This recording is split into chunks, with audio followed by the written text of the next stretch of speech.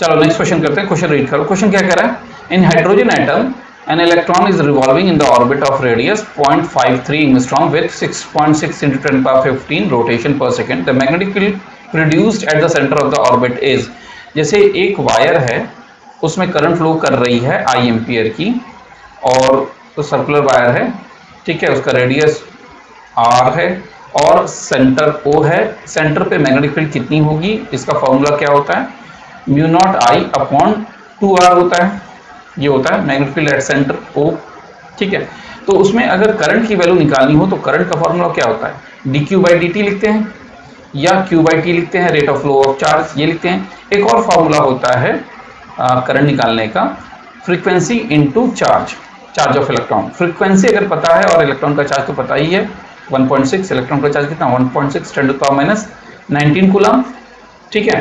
और फ्रीक्वेंसी दी हुई है क्वेश्चन में इलेक्ट्रॉन मूव कर रहा है। जैसे एक हाइड्रोजन एटम है, ये प्रोटॉन हो गया न्यूक्लियस में और इलेक्ट्रॉन घूम रहा है। तो इलेक्ट्रॉन अगर मान लो क्लॉकवाइज घूम रहा है इलेक्ट्रॉन क्लॉकवाइज घूम रहा है तो करंट एंटी क्लॉकवाइज चलेगी। ऑब्वियस सी बात है करंट की डायरेक्शन एंटी क्लॉकवाइज होगी। ठीक है? तो सेंटर पे मैग्नेटिक फ़ील्ड अगर ये डिस्टेंस आर दिया हुआ है, ठीक है? और ये वैल्यू आर की वैल्यू दी हुई है 0.53 angstrom 10 to power minus 10 metre हो जाएगा ये आर की वैल्यू हो गई तो मैग्नेटिक फ़ील्ड का फार्मूला ये है, इसमें अगर करंट आपको पता चल जाए, करंट की वैल्यू है, current is equal to frequency into charge तो करंट की वैल्यू निकालते हैं फ्रीक्वेंसी की value 6.6 point six into ten to power fifteen into electron का चार्ज कितना है 1.6 point six into ten power minus nineteen दोनों को सॉल्व करें 6.6 point six into one point six into ten to power minus four इसको multiply कर लेते हैं अपने मोबाइल से calculate 6.6 point six into one आप सब भी कैलकुलेट कर लो. 6.6 point six into one point six. Ten point कितना आ रहा है? Ten point five six into ten power minus four ये करंट की वैल्यू आ रही. ये करंट की वैल्यू उठा के रख दो यहाँ पर.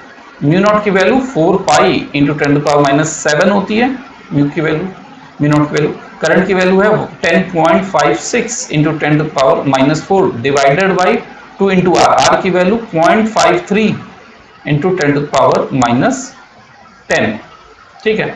तो मैग्नेटिक फ़ील्ड एट सेंटर कितना होगा अगर सॉल्व किया जाए? इसको मैं इधर सॉल्व कर लेता हूँ, यहाँ पर। Magnetic field at centre four pi है टू से ये कटा टू वन ज़ा टू टू ज़ा फोर ठीक है। टू पाई हुआ। Two pi into ten point five six into ten to power minus seven minus four और ये टेन पावर माइनस टेन नीचे है, ऊपर जाएगा प्लस टेन हो जाएगा।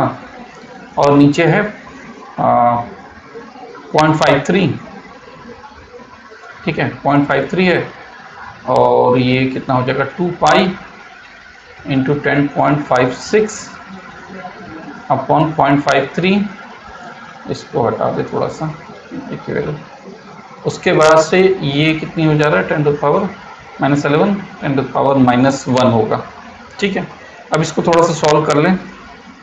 Two into three point one four into ten point five six into ten to power minus one divided by point five three multiply कर लेते हैं कैलकुलेटर में। Two into three point one four sorry एक minute two into three point one four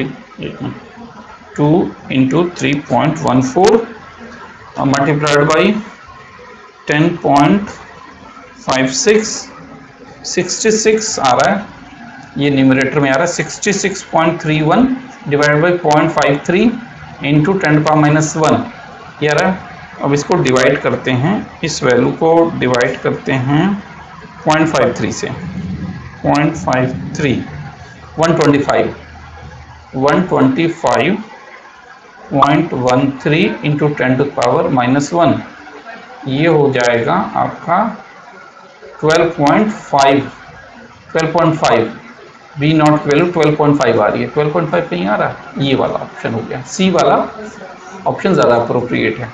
चलो next question करते हैं.